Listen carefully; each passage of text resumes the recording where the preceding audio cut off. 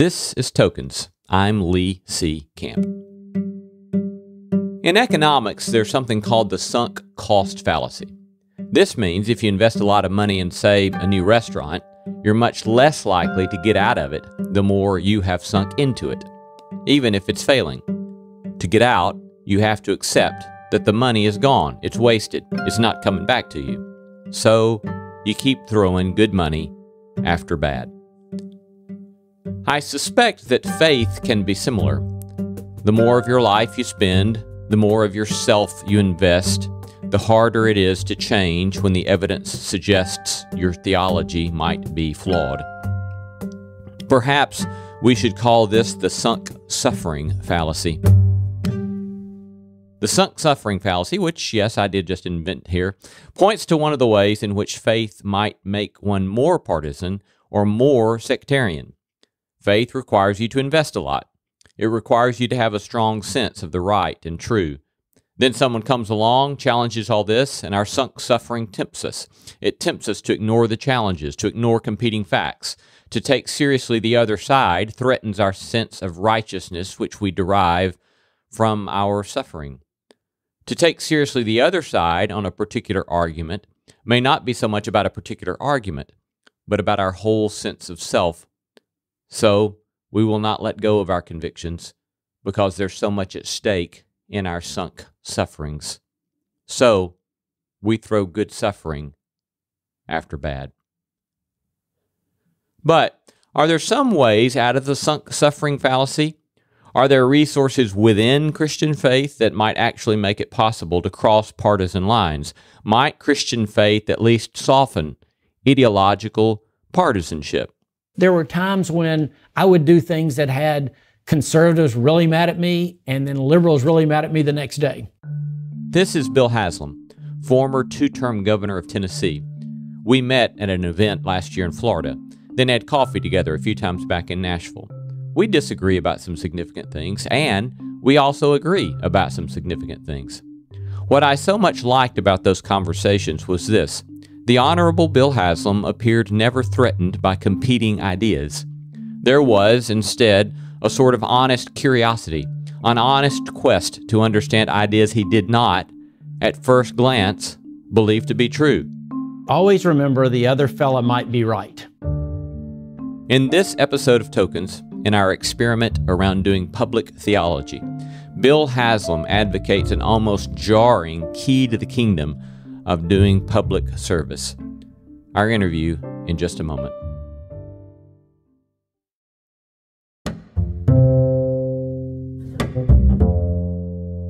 Bill Haslam is a businessman and politician, served as the 49th governor of Tennessee from 2011 to 2019, was previously the mayor of Knoxville, Tennessee, Born in Knoxville, graduated from Emory University in Atlanta, Georgia. Subsequently began his career in business, joining his father Jim Haslam, who was the founder of the Pilot Corporation. Haslam worked with Pilot Corporation for almost 20 years, becoming the president, then became CEO of the e-commerce and cataloging division of Saks Fifth Avenue, was subsequently elected mayor of Knoxville, Tennessee, and the governor of the great state of Tennessee. Welcome, Bill Haslam. It is good to be with you, Lee. Thanks. It's good to be with you. Of course, one of the most important things on that that I did not mention was that uh, he was my neighbor for a while. That's right. Yeah, you, you were always, you never, whenever I came over to borrow something, you never had it though. Yeah. Actually, that's one of the things I do regret about your term as governor is that I never got to meet you when you were governor. But I do remember, I think it was probably the day of your inauguration or maybe the day after seeing you on one of your first of many bike rides that we would see you going through the neighborhood. I, I, would always sit out on my front porch a lot and uh, still do. And I, I, never thought it'd be quite appropriate to holler at you to ask if you wanted a cup of coffee. well, I probably could have taken some water at the time, but I'm, yeah. I'm sorry. we did actually, it's kind of funny. We lived around the corner from each other, but didn't get to know each other until uh, the year after I left office, which is a regret for yeah. me too. Thanks for thanks for your time today. It's great to have you on here. I, I think that uh, one of the things that's been fascinating to me about Tennessee governors, I think I think somewhat in contrast to the at least public perception of the Tennessee state legislature is that the Tennessee governors have tended to be more moderate and have tended to be able to listen to people across the aisle from each other quite well. And that certainly seems to be the case for you. How, how would you you think that's fair that you've worked at trying to pay attention to people on the other side of issues from you? Oh, I did. You know, my my political mentor was a guy named Howard Baker, who, if you've been around Tennessee for a long time, you know that name. But Baker right. was actually the the first Republican elected to the uh, U.S. Senate. We think of Tennessee as being such a Republican state, but it wasn't forever. When he was elected, he was the first Republican in like, I don't know, 60 years or so. Was, I can't remember the period, but a long time. Baker went on to become the majority leader of the United States Senate, chief of staff to Reagan, U.S. ambassador to Japan. But he had a saying, and Baker was from a little mountain town just north of Knoxville called Huntsville up in Scott County. And he said, always remember the other fella might be right. Huh. And it's a good lesson to learn in politics, particularly today, is, and maybe even particularly for those of us who are Christian believers, is to remember the other fellow might be right because we know, given our own brokenness, we could be wrong.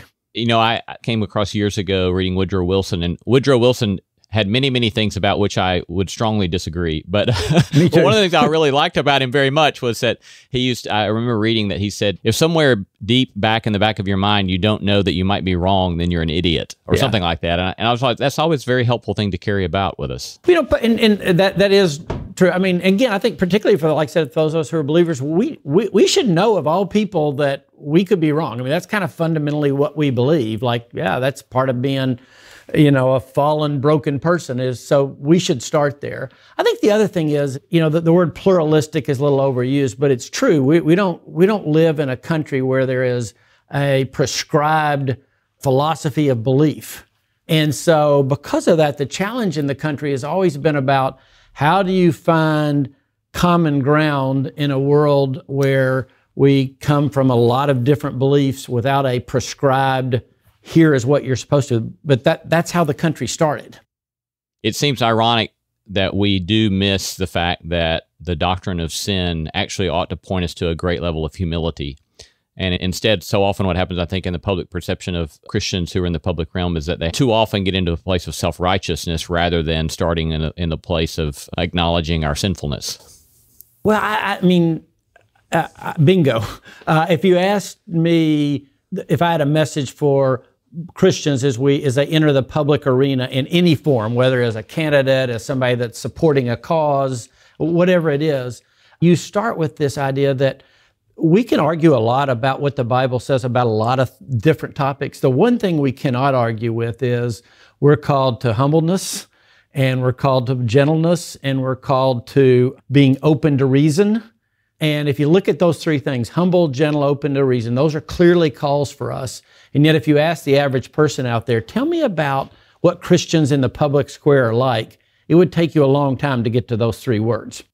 Yeah, and it, it seems like that you're pointing to character traits as opposed to necessarily starting with so-called Christian values. These are sort of things that should characterize us as people in, engaged in the public realm. Well, yeah, I mean, if again, if we're going to bring our values and beliefs into the public uh, arena, then we should start with those things that the Bible shouts the loudest about. And again, I'll take humility and and not being prideful, and you go pick your adjective. And I, I you know, in terms of how many times it's in the Bible, I bet mine wins. the second thing you said there a minute ago that I think is terribly important is that you pointed to the the reality of pluralism and you know, one of the distinctions that gets made sometimes in the academics around this is that there's a difference to be made between an ideological pluralism and a practical pluralism. An ideological pluralism that just says, well, different people have different sets of beliefs, and we should celebrate them all equally. Which I don't think that really works for anybody, regardless of mm-hmm. where they're coming from. But the practical pluralism is this sort of place of where obviously in the public realm there are all sorts of people coming with all sorts of deep sets of convictions and again, I think if we, as as a as a Christian, if I come at that from the perspective of one of my first tasks is to be humble or to be winsome, as opposed to being imposing, that practical pluralism and acceptance of that can be terribly important. Well, I, I think it is. I, you know, the word tolerance, I think, has gotten overused and misused. Tolerance, I don't think, is supposed to be anything goes, and whatever you believe is just fine and can be true too. I think we are called to be open and willing to listen And I think that's what tolerance actually means. It doesn't mean that whatever you say is true, I'm fine with, because I, I don't believe yeah. that. But it does mean I'm supposed to be open to listening to understand what, what it is you believe. Yeah, I, I think when intolerance is the norm, that tolerance is much to be preferred. Yeah. I think that the the old the old practice of, of hospitality that Jews and Muslims and Christians all have celebrated is even preferable to tolerance because right. this is sort of it it describes the stuff that you're talking about, this sort of openness to listen and paying attention to folks. One of the things I'm fascinated by is the capacity for especially public figures to engage in very practical ways people who have been critical of them. Tell us a little bit about your experience running for mayor of Knoxville and then the subsequent uh, decision made in, in your administration in that regard. You know, when you run for mayor, it's actually a very personal thing because it's uh, it's as hands-on as almost as you can be in politics. You know, in governor, yeah. you're it's all over the state, so some of it depends on TV advertising. President, it's all all, all about raise enough money to get on air enough, et cetera. But mayor is not that way. I mean, you're literally knocking on doors. You're at ballparks and you know shopping mall, eh, wherever you can to go meet people. So it all becomes a very personal deal and if you've never run for office, it's kind of hard to describe the vulnerability of that. And so, one of the things I'd tell people is give a little grace to people who are running for office. It is way harder than you think. And it's if imagine. you if you can flash back to being in middle school and uh, feeling like uh, you know when you were carrying your tray up to a table of, of kids and they were looking at you evaluating you the whole time that's kind of what it's like to be a candidate you feel like you're back to hmm, okay, I'm standing up here getting evaluated, and anybody can say and do whatever they want. So it's the first thing I say. It's incredibly personal. It's very vulnerable, uh, and I had a very close election for mayor. Um, Knox County is is, is tended to actually vote uh, Republican. Our the city we're, unlike Nashville, we don't have metropolitan government. The city itself has been very blue. So you kind of have this blue hole in the middle of a red donut. And very close election running against a woman ma- named Madeline Rogero, who became my successor. She won after I left in eight years. And we had a very close race that was, you know, it was pretty intense the whole way. Didn't she become a, a, member of your administration? So we ended up hiring her to uh, run our kind of community development programs, all the programs that are a lot of the things uh, there where federal money or state money comes in and then the state actually implements them. And she did a terrific job. And I think it laid the groundwork for her to become the, the next mayor. Yeah. You know, related to that sort of appreciation of somebody, former opponent, I think the first conversation you and I ever had, as I recollect, correct me if I'm wrong, but I remember you saying something like that you thought that some of the most important things you had done as governor of the state of Tennessee were things that Phil Bredesen had laid the groundwork for. It's really, I mean, people think of public office like, okay, th- this person became the office holder on January 1st of this date, and then everything starts new, but it doesn't. It's a lot more like a big relay race. And so in our case, Tennessee got a lot of credit our first term for a lot of gains we made on education initiatives. But the truth is, Governor Bredesen came before me, set the uh, set the groundwork, put a lot of those things in place. Now our job was to carry them out and to fight through some of the pushback we had, but we wouldn't have gotten where we to the point uh, that we made without Governor Bredesen kind of building the foundation and knocking the first door down, if you will. Yeah, yeah. Let me shift kind of direction for just a moment and talk with you a bit about character development.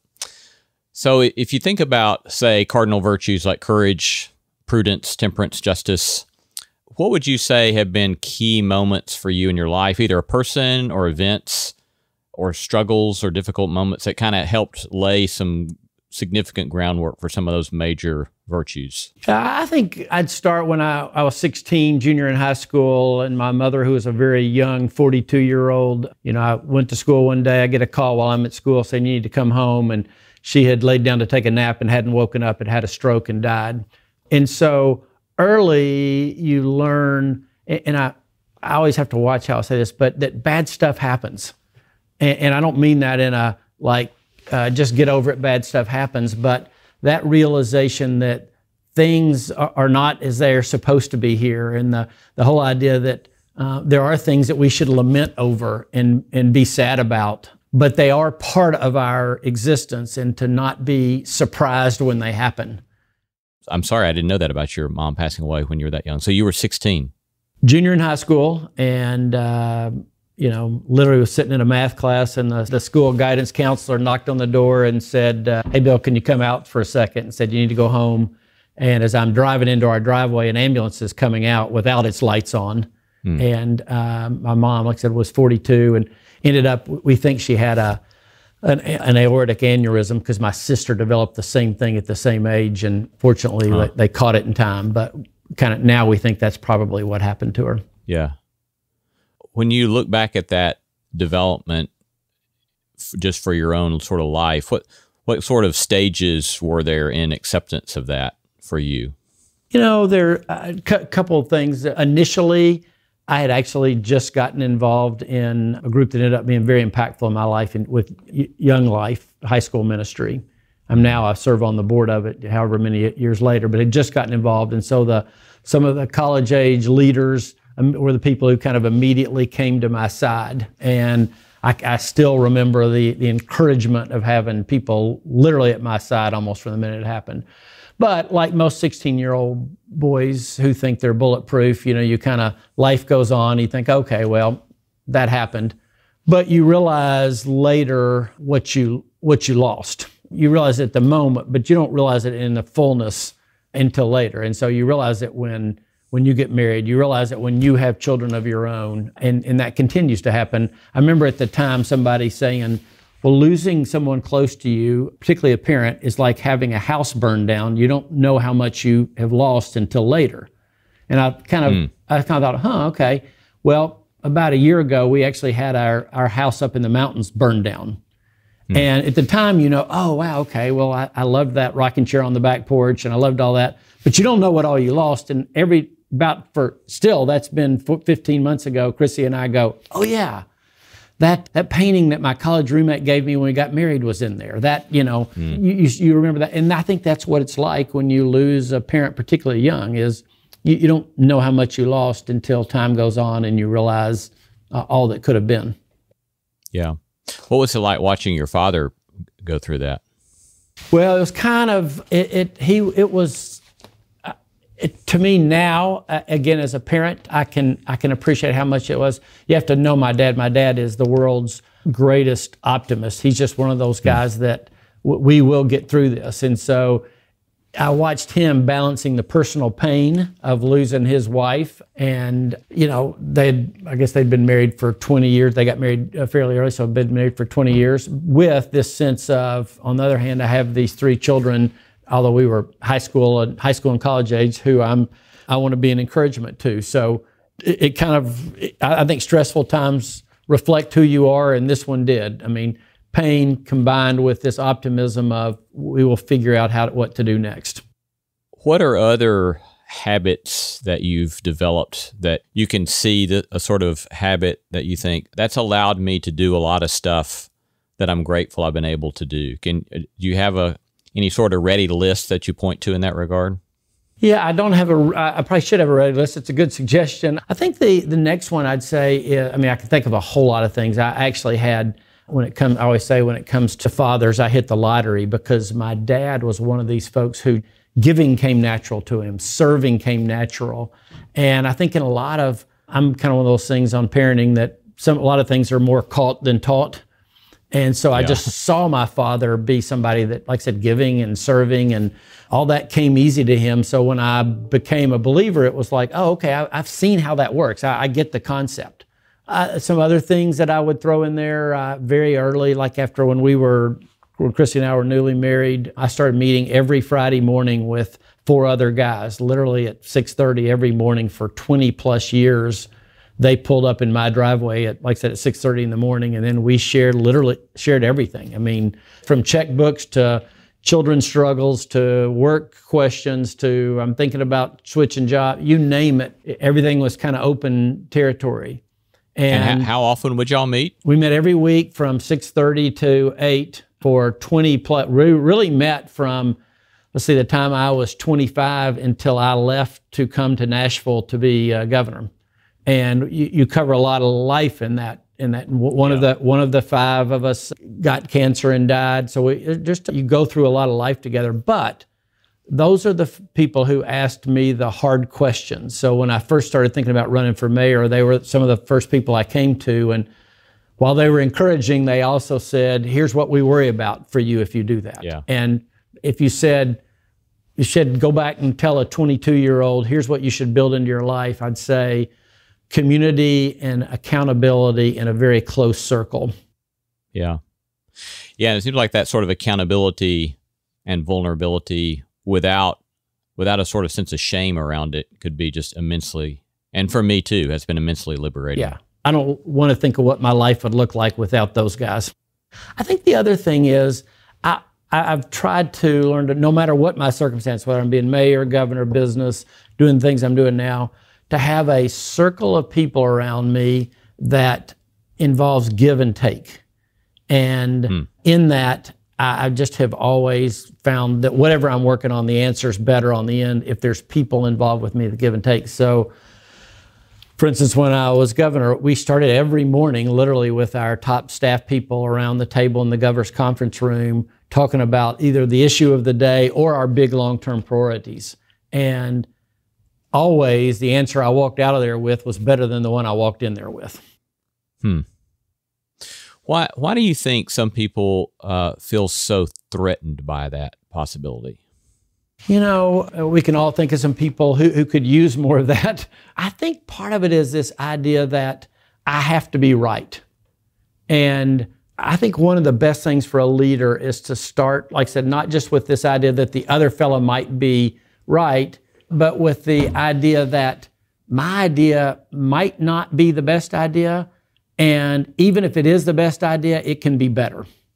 Hmm. And I think that comes from, I, have realized also there, there's just certain things I'm not good at that I thought that I wasn't. I, it took me getting older to realize that I wasn't good at them. That's one of the things I've learned is I have people that are, they think in different ways than I do, and that's helpful. What would be some examples of maybe some habits that you had that took you too long to let go of? or have frustrated you or maybe maybe still frustrate you? I, I, still one of my I don't know if it's a habit, it's a character issue is I always think whatever the problem is, I want to be a part of helping fix it. And there's some good in that, right? There's like, okay, well right. somebody needs to do that. But there's also a sense like now with the current challenge we're facing with COVID 19, you know, I, have got a whole lot of ideas that I'd love to, uh, I'd love to be sharing with somebody, and I, I, use that almost to, you know, as a as an exaggerated point that I, I, still am too much of a, you know, for this problem to get solved. Not that I need to solve it, but I need to be in the middle of it. And yeah. I've learned there's sometimes when, you know, God calls you to be a part of that story, and other times when He doesn't. That does raise a, another question that I wanted to ask you about, and that is how does one deal both when you're in the middle, for example, of being governor, and then after you're governor? How do you deal with the temptation of an inflated ego or simple vanity? Well, it's it, it's a huge challenge because here's the reality of being in office.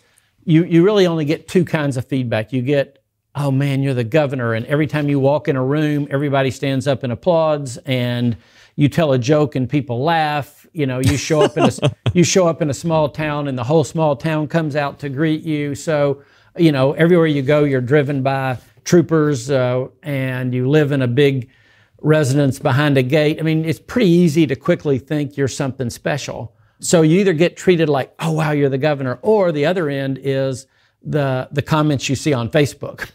And so th- there's no good, thoughtful edifying feedback that happens. And so the problem is you tend to just, okay, I'm, I'm going to turn off the comment section on Facebook, but that just leaves you with hearing all the other stuff. It's a issue. I, I guess I'd, I'd bring it back around. The, the good or bad part is there are a lot of things that bring you back to life.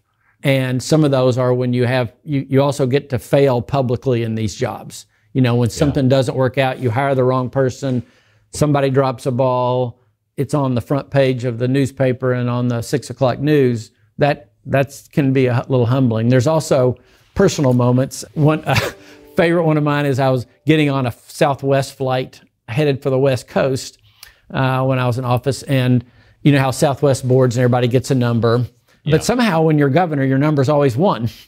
And so, so you always get to get on the airplane first, and you get on the airplane first, and of course it's all open. You go pick a seat, and so I went and got it, picked a seat uh, on the exit aisle, so I have a little bit more row. Whole plane. The next woman coming on gets on and sits right next to me. I mean, literally next to me. I'm like, there's a whole plane. And she immediately goes, I can't believe I get to sit next to the governor. And I go, uh huh. And she goes, for four hours. And I go, uh huh. You know, and, and so then she proceeds to like, we take selfies, we call her husband. Uh, you know, we FaceTime with her office. It's like, oh, I just can't believe. And we haven't. I mean, the plane's still filling up. You know, and I'm thinking, I've got a long flight ahead.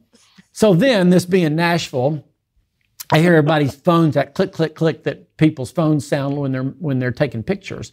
And I look up and down the aisle are walking the four lead singers from Little Big Town, the the country music group. And everybody's like the buzz goes all over the plane, and the woman sitting next to me goes, "Well, now I don't feel like I got such a good seat after all." so you realize after a while, like, yeah, you're not that big a deal. Yeah, yeah. It's all relative, isn't it? It's all relative. It's all relative, yes.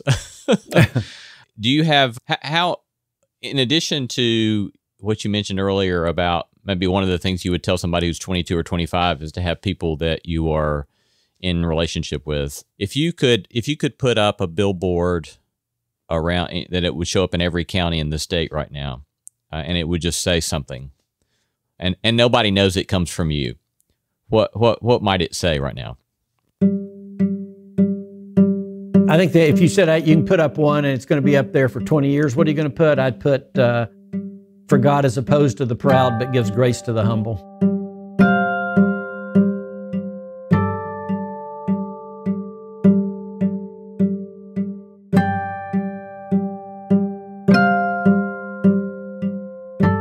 You are listening to Tokens Public Theology, Human Flourishing, The Good Life.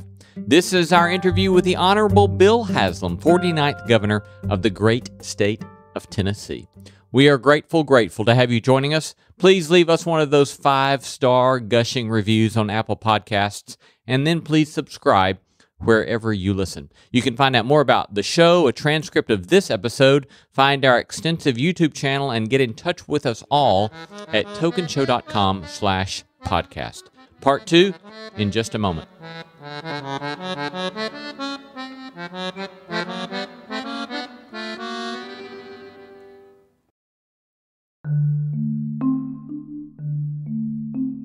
You're listening to Tokens. When we left off, I had just asked the Honorable Bill Haslam what he might want to put on a billboard in every county in the state of Tennessee, assuming no one knew he was responsible. I'd put, uh, for God is opposed to the proud, but gives grace to the humble. Now, when you went to college, you wanted to be what a history teacher or maybe a minister. Is that right? Well, my plan was to go to college, teach history for two or three years, and then go to seminary. Majored in history at Emory, thought about, kind of even went uh, visited a lot of seminaries my first year or two out of college. Uh, but my plan actually got changed a couple times. My my dad came to me and said, "Listen, if you really think about being in ministry, you already know what the high school world looks like. That's not going to bring you any new experience. Why don't you come in business? It'll give you a different perspective and help you if, if that's what you want to do. And so I said, okay, and came thinking I would be there for two years and ended up staying 20 plus. And I think the thing that changed is I got there and started, got really involved in our church. And I walked away with a great, still a great appreciation for what the church does, but thinking I'm not certain that that's what I'm supposed to do. Yeah. And so I literally kind of kept putting off the decision for for a year at a time, knowing that where I was was not what I was called to do for the rest of my life, but becoming increasingly certain that being a pastor was not. Yeah.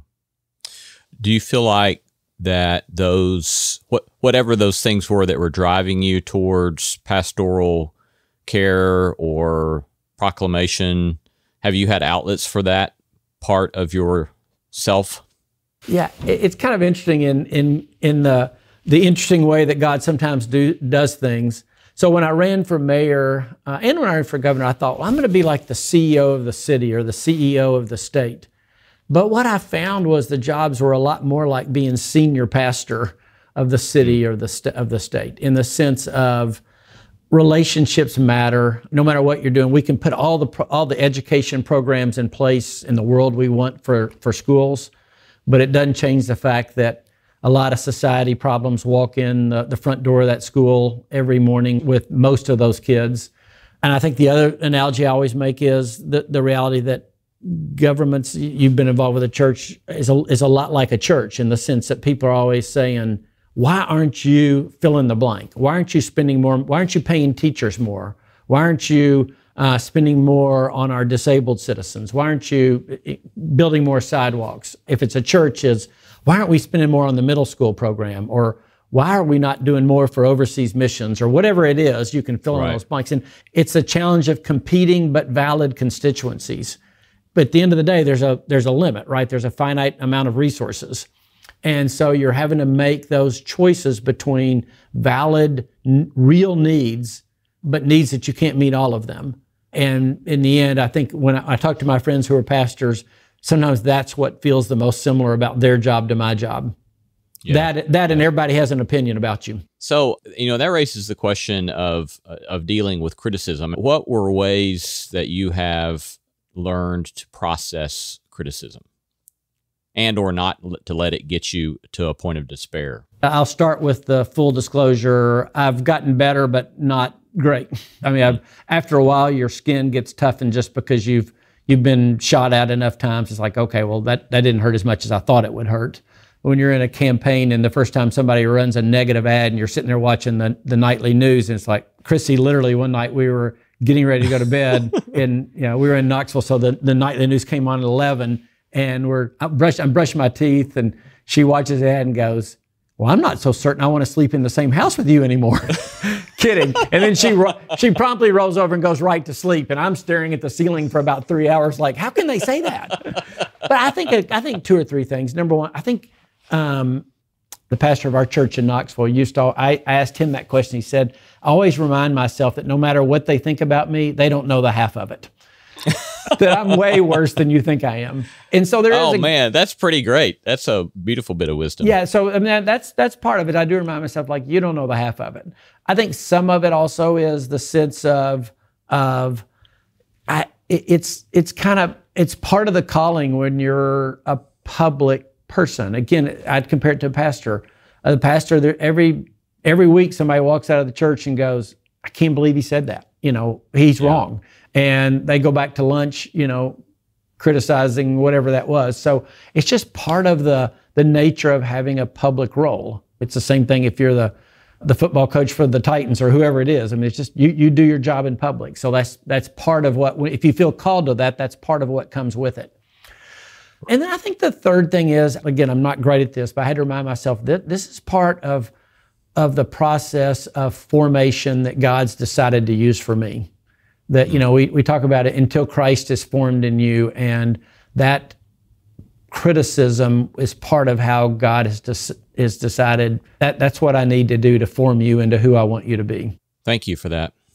I'm fascinated with one of your vetoes as governor was to veto the bill from the Tennessee state legislature that wanted to make the Bible the Tennessee state book. And the Tennessee state legislature has done that. They've tried that, I think, several times. So tell us your thinking about vetoing that bill. Yeah, it is a little different experience when I, you come home from work and your spouse says, "So, how's work?" Said, uh, "That's bad day. I vetoed the Bible," and you know, I believe me, I, I heard a lot about it various places. But here's, to me, the Constitution is clear about you're going to make no rule establishing a religion, or it, the other is, or preventing it, okay, or preventing the free exercise of it. But this felt like if we're going to say it's the official book of the state, that that's that's establishing religion in, in violation of the Constitution. So the people writing the book say, well, no, no, we're not saying it's the state book is God's word. We're going to say it's the state book because of the history and the education it provides and what it's meant to our citizens. And I said, well, then, then you're, you're kind of putting the, the Bible along with our, you know, our state insect and our state song and our state tree and our state, you know, whatever. And I said, in that case, you're diminishing the Word of God.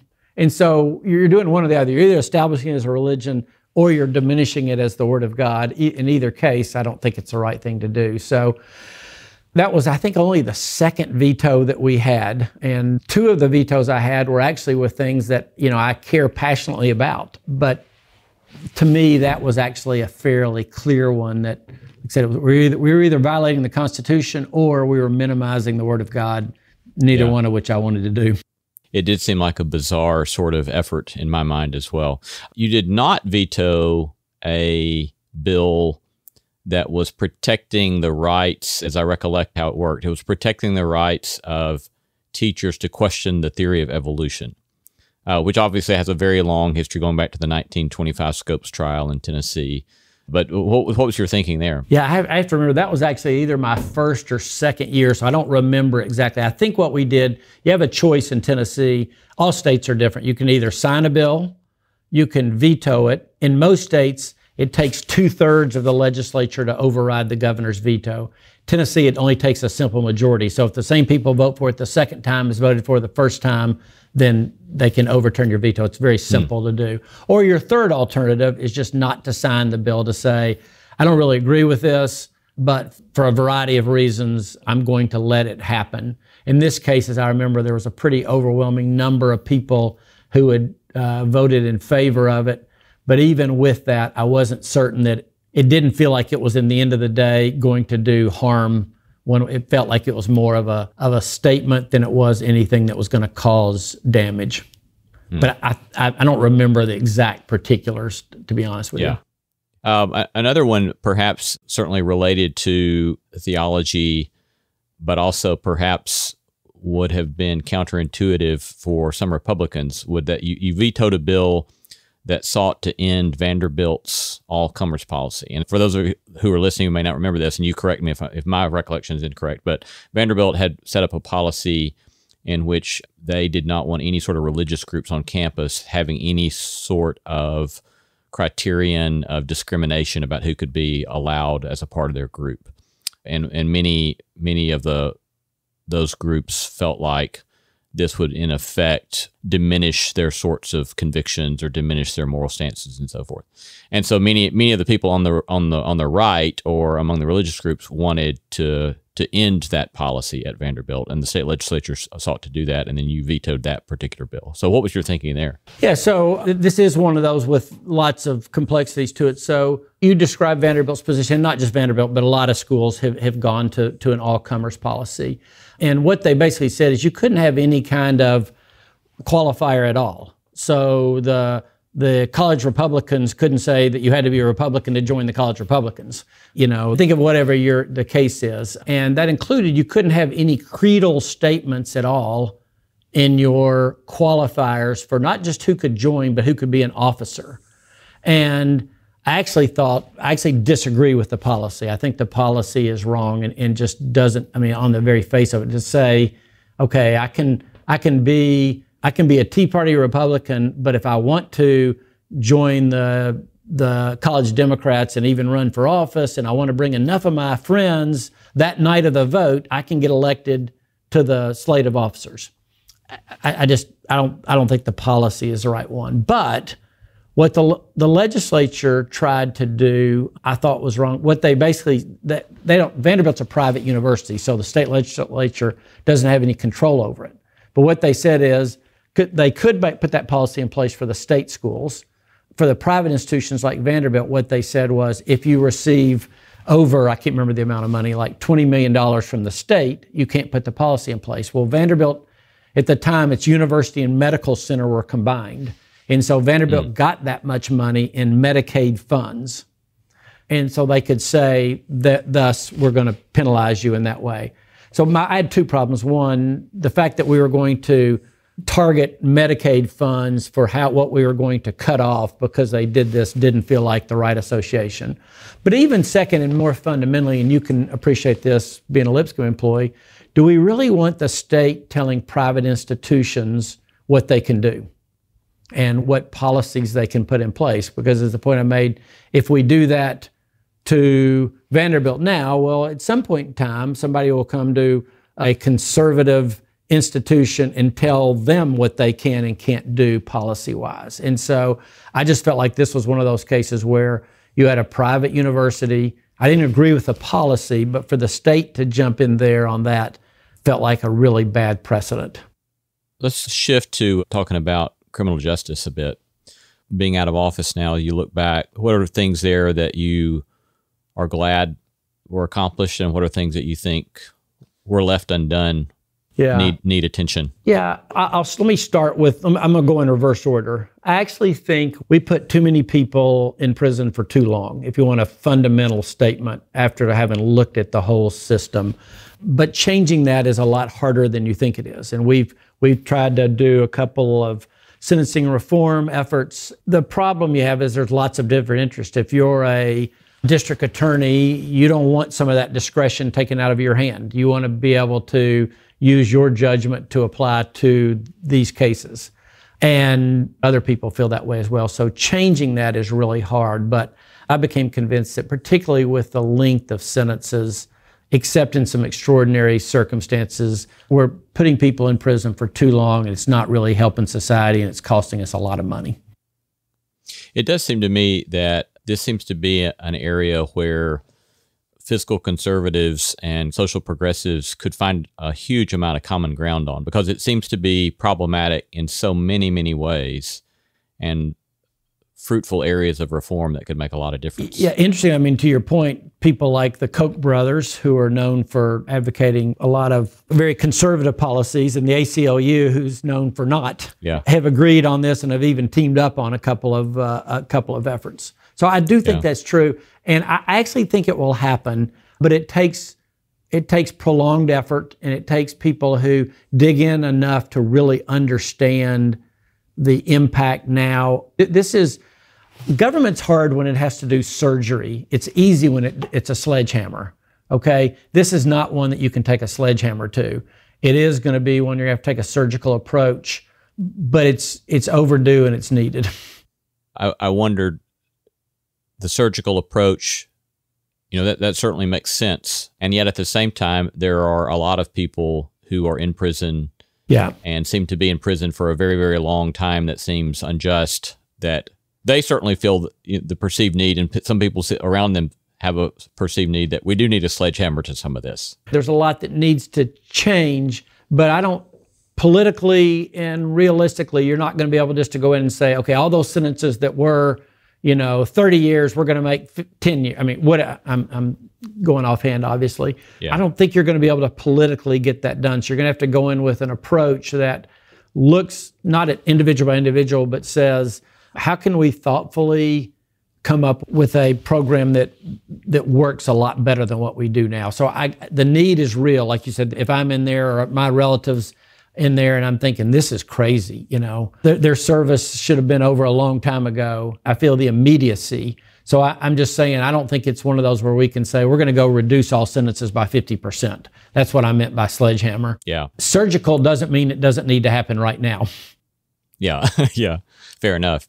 How do you think about the difference between what someone can see ideally should happen and should happen now versus pragmatic realities that you have to within which you have to work? How, how does how does that yeah, that's a that's you? a great question, a really good question. And so, at the end of the day, like I said, we live in a pluralistic society. Back to what I talked about earlier, and and you you have to realize that to you know as governor, you have a lot of power.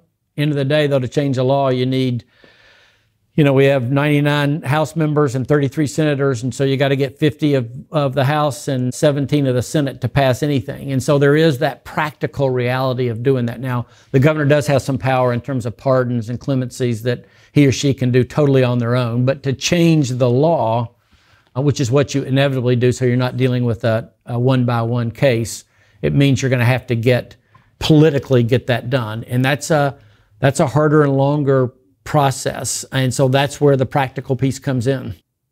Yeah. I think one of the areas uh, as well that has concerned me so much in paying attention to the years in Tennessee and throughout the whole United States is the death penalty and seems to be riddled with so many systemic problems and so many individual cases seem to be riddled with deep deep problems. But what's your what's been your process in in processing that and acting yeah. in that regard. So, so real. I mean, if you talk about the personally difficult things you deal with, Governor, that, that's easily the most personally difficult because you realize by the time it gets to you, you're literally the only. I mean, maybe the Supreme Court's going to intervene, but the chances are like you know slim to to none. Uh, and so it's coming down to you. And so you have to decide early kind of what your philosophy is going to be and then look at each case individually. So both what what's my overall philosophy going to be and then individually. I, will say let me start with i'm going to start at 40000 feet. I don't think the way that the death penalty happens now is a good process. I don't mean the actual process of execution but how it plays out. Because the process takes so long that by the time it comes up that individual is very likely a very different person than the one who committed the crime. But it doesn't change the fact that they did the crime, you know, 30, 40, however many years ago. I just think it's ineffective and it's costly, and I don't think it serves its purpose the way it is now. I know there's a lot of people who feel like, well, it's also not just, and that there's a lot of people who are sentenced, you know, in unjust ways, and it's there's been a, a racial component to it, and a lot of things that historically have been true overall. And you and I have discussed the book Just Mercy, in, in the cases there, but in, in, the cases that I dealt with while I was there, that wasn't what we were looking at. These were cases where it was clear the person had done it. There was no doubt about that. The question was, and and all the crimes were heinous, horrible. I mean, like a couple of them just you know unspeakable crimes.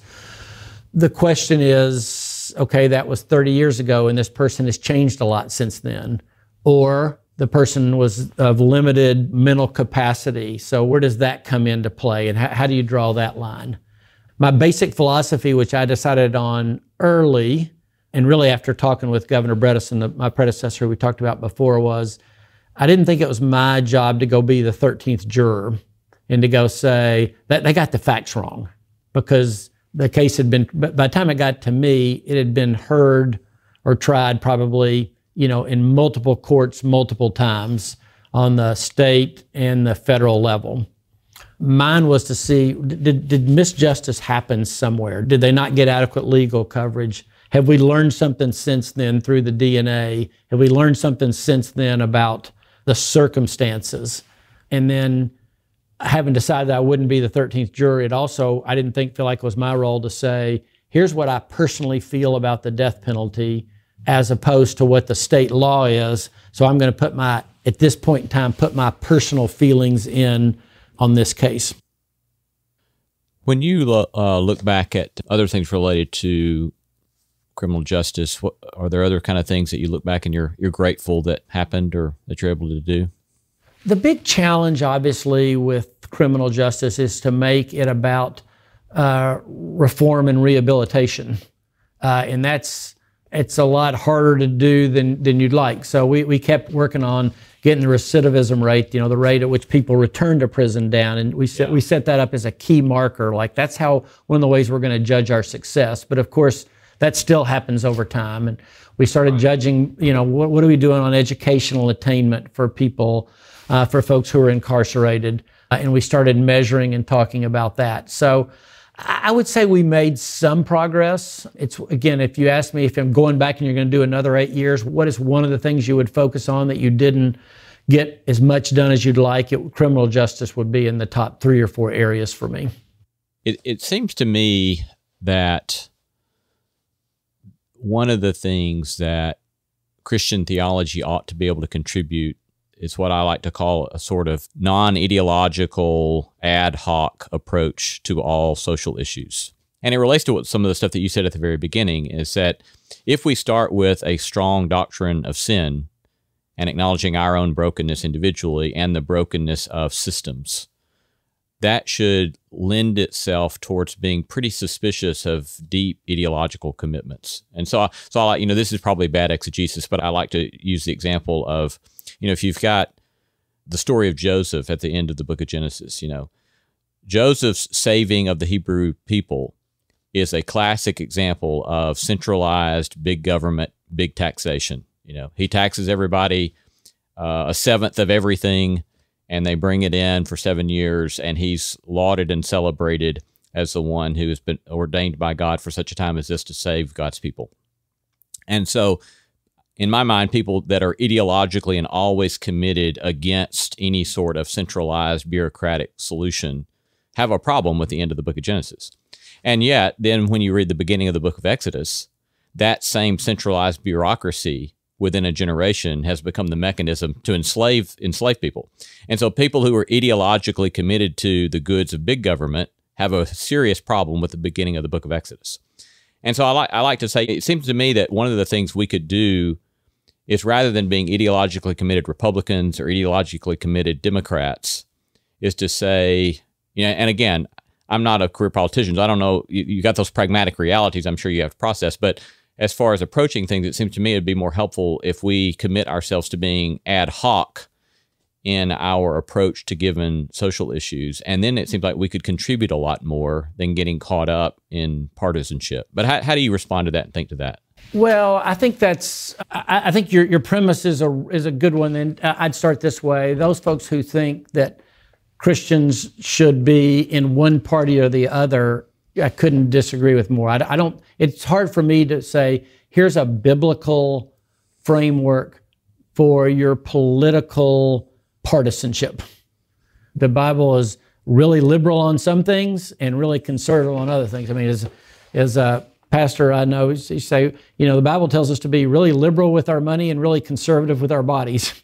but I could keep going with things. It's like, and, and right. be honest with you, in office, there were times when I would do things that had conservatives really mad at me and then liberals really mad at me the next day.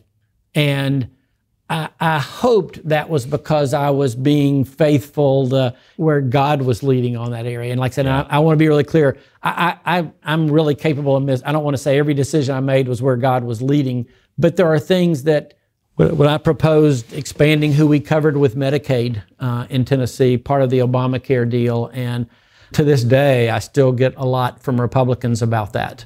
And but I, I, honestly felt like that was something we could do practically, and it was about taking care of the least of these, and it was the right thing to do. I also had lots of, you know, folks on the left side of the spectrum that when a bill came up that basically let counselors say, I'm not the right person, let me refer you to someone else, people saw that as, well, I think you're just setting it up for a chance for people to discriminate against LGBT folks. That really wasn't my I didn't write the bill, but that wasn't the reason I signed. I just thought counselors ought to be able to say, you know, you know, Lee, I'm not the right person to help you with that, but I will get you somebody that is. I just felt like that, but yeah. that's you know scared a lot of folks on the left side of the spectrum. So I, I think your premise is right. I, I, don't. I haven't thought about the ad hoc version of that. I don't think. I think we err when we allow ourselves to say because I'm a Christian, I vote this way every time. Bill Haslam, 49th governor of the state of Tennessee. Thank you for your time. Been great to be with you. Well, as, as 49th, but as they say in, uh, in Australia, uh, rooster today, feather duster tomorrow. you are listening to Tokens Public Theology, Human Flourishing, The Good Life. Would you do us a favor and please go over to Apple Podcasts and leave one of those glowing five star reviews? Subscribe wherever you listen and make sure to tell your friends all about us. Remember, you can learn more about our live events, our online courses, and see our extensive YouTube channel with clips from live token shows past by visiting our website at tokensshow.com slash podcast. Our thanks to all the stellar team that make this podcast possible. Executive producer and manager Christy Bragg of Bragg Management, co-producer Jacob Lewis of Great Feeling Studios, associate producer Leslie Thompson of Rogue Creative Marketing and Media, associate producer Ashley Bain, engineer Carriot Harmon, production assistant Kara Fox, and our live event production team at Stonebrook Media led by Phil Barnett. This Tokens podcast is a production of Great Feeling Studios and Tokens Media LLC, Nashville, Tennessee, USA. Peace be unto thee.